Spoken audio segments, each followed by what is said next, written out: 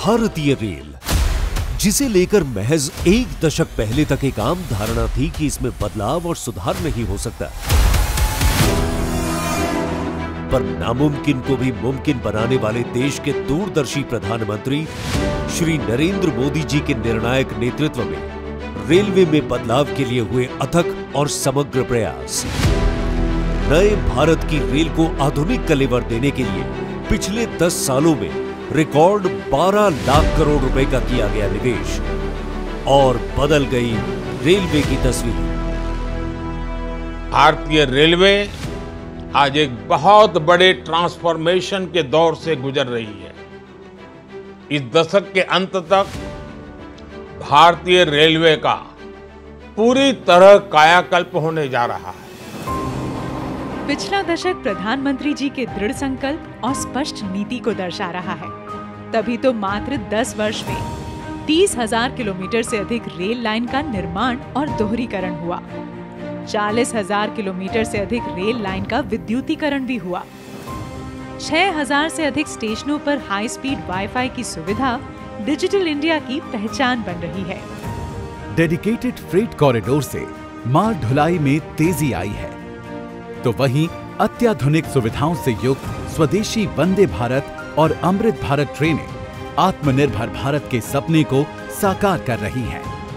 देश भर में स्टेशनों के सौंदर्यीकरण एवं आधुनिकीकरण का काम बड़े स्तर पर एक अभूतपूर्व गति से हो रहा है यात्री सुविधाओं को बढ़ाने और रेलवे इंफ्रास्ट्रक्चर को विश्व स्तरीय करने के लिए 1300 से अधिक रेलवे स्टेशनों को अमृत स्टेशनों के रूप में पुनर्विकसित किया जा रहा है।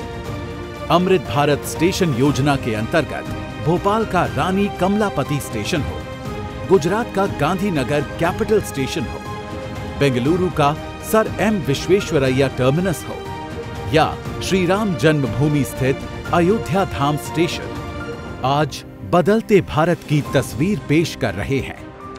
ऐसे शानदार स्टेशन पहले लोग विदेशों में ही देखते थे। अब भारत में भी ऐसे स्टेशन बन रहे हैं। इसी दिशा में आज एक स्वर्णिम अध्याय जोड़ रहा है। इकतालीस हज़ार करोड़ रुपए की दो हज़ार से अधिक रेल परियोजनाओं की देशवासियों को दी जा रही है सौगात, जिसमें शामिल है पाँच स्टेशनों का कायाकल्प और 1500 से अधिक रोड ओवरब्रिज और अंडरपास का निर्माण। आज प्रधानमंत्री नरेंद्र मोदी जी लोकार्पित कर रहे हैं अत्याधुनिक सुविधाओं से युक्त पुनर्विकसित गोमती नगर रेलवे स्टेशन और कर रहे हैं वर्चुअल शिलान्यास।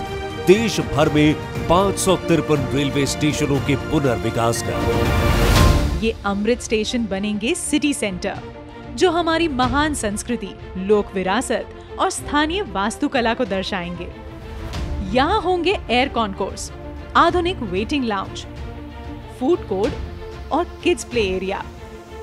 पर्याप्त पार्किंग की सुविधा मल्टी मोडल कनेक्टिविटी और आवागमन के लिए अलग अलग प्रवेश द्वार जैसी सुविधाएँ। साथ ही ये स्टेशन होंगे पर्यावरण अनुकूल और दिव्यांग फ्रेंडली भी।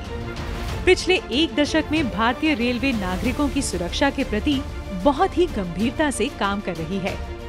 सुगम रेल और सड़क यातायात तथा रेलवे क्रॉसिंग पर सुरक्षा सुनिश्चित करने एवं यात्रा में समय की बचत के लिए देश भर में ओवरब्रिज और अंडरपास का लगातार हो रहा है निर्माण।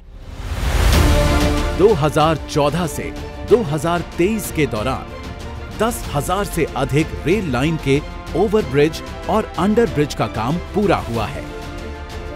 इसी कड़ी में आज प्रधानमंत्री जी कर रहे हैं शिलान्यास और लोकार्पण। देश भर में 1500 रोड ओवरब्रिज और अंडरपास का। भारत कैसे बदल रहा है? सपने कैसे सच हो सकते हैं? ये देखना हो तो आज इसका एक उत्तम उदाहरण भारतीय रेलवे भी बन रहा है। निर्माण की अभूतपूर्व रफ्तार की मोदी सरकार की गारंटी से सुनिश्चित होगा विकसित भारत का संकल्प। जय हिंद।